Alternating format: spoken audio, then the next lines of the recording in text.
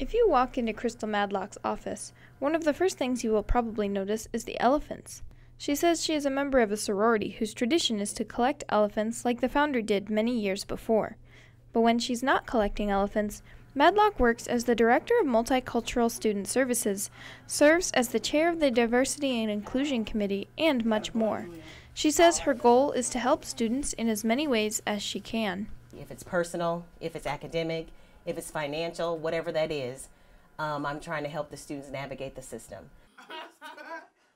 Madlock says she loves watching students as they spend time on campus. I love to see a student come in as a first year student and to see them graduate four years later, to see how they grow and see how they progress, you know, throughout their time here.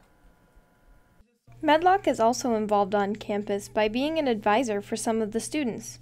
Third year Kiara Love says Madlock has been a positive role model for her.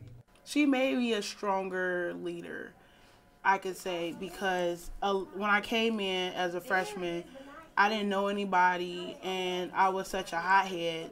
But as I grew and I would look up to Krystal, it was like that's someone who I would want to be like. For Cedar Valley today, I'm Alicia Ungs.